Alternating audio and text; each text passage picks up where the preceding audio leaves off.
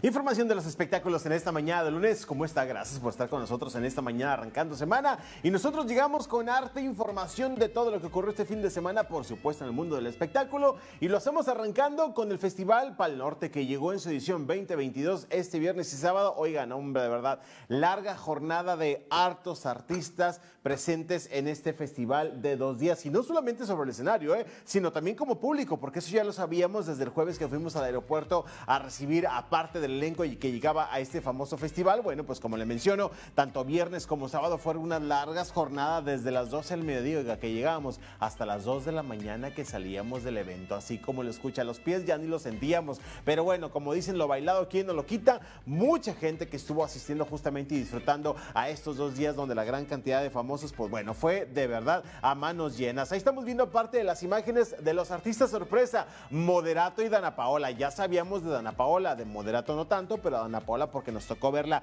a su llegada al aeropuerto el pasado jueves. No se sabía, mucha gente no sabía, pero sabíamos al momento que lo vimos. Y bueno, pues el, el viernes fue cuando salió la cantante y estamos viendo parte de las imágenes de este festival. Eh, le digo, la verdad es que fue una gran cantidad. Maroon 5 estuvieron ahí presentes también. No, muchos, muchos. Ahí estamos viendo a Sandra Echeverría, Hombres G, que fueron también parte de las cartas fuertes de este festival. Otros de los artistas sorpresas que llegaron fue nada más y nada menos que los chicos de Hanson.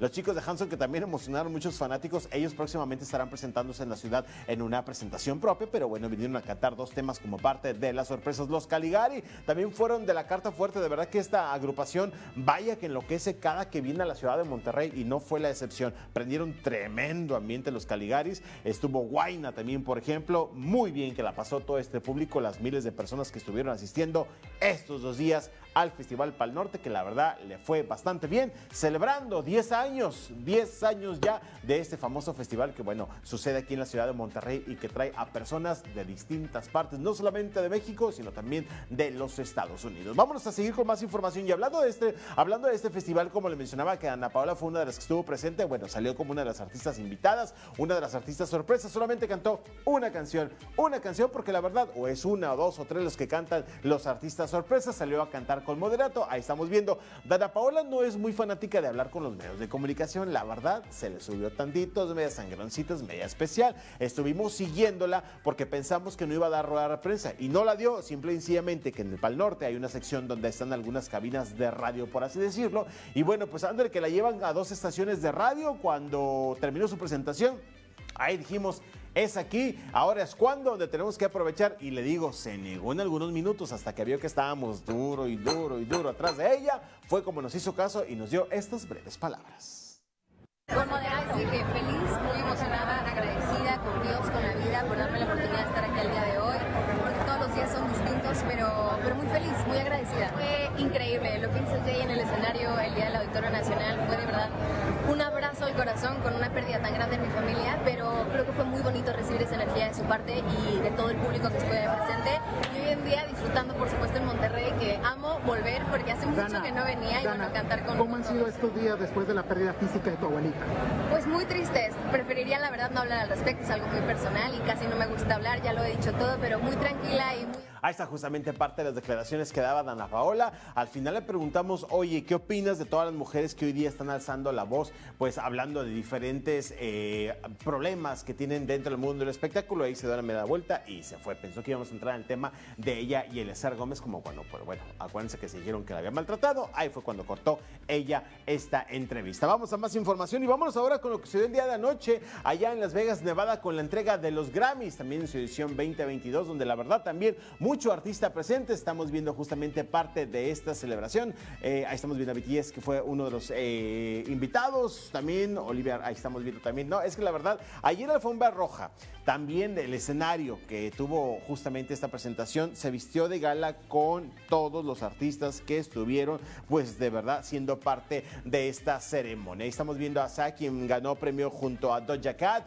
por Kiss Me More. Justin Bieber, otro de los invitados que estuvo ahí tocando el piano, estuvo teniendo una, una actuación veíamos también a los chicos de BTS, Olivia Rodrigo, que también fue una de las grandes ganadoras de esta noche. Ese es el momento en que se recuerda a los artistas que ya partieron de este mundo. Y bueno, pues ahí veíamos por supuesto a don Vicente Fernández, que fue casi de los últimos que apareció en la pantalla, siendo recordado en esta ceremonia que dio mucho de qué hablar, mucho artista, mucho famoso. Y por supuesto el público la disfrutó ayer a través de la señal internacional. Y bueno, como le mencioné, pues mucho cantante, mucho famoso, mucha forma roja y también mucho premio. Hablando justamente también dentro de esta misma ceremonia, tremendo oso que se vivió ayer dentro de esta ceremonia porque aparte antes de la ceremonia que es televisada, siempre se hace una ceremonia la cual no es televisada, sino que solamente se hace ahí localmente en el, en el recinto. Y bueno, pues se le dio un premio a don Vicente Fernández justamente por mejor álbum de música regional. Y resulta que justamente este joven que está usted viendo en pantalla, cuando de repente dice, pues el premio es para Vicente Fernández, se queda esperando y dice, no vino, no va a pasar por el premio, tremendo oso, pues no va tener la silla porque don Vicente nunca iba a llegar. Vamos a escuchar un poco de qué fue lo que sucedió. Vicente Fernández. ¡Hey!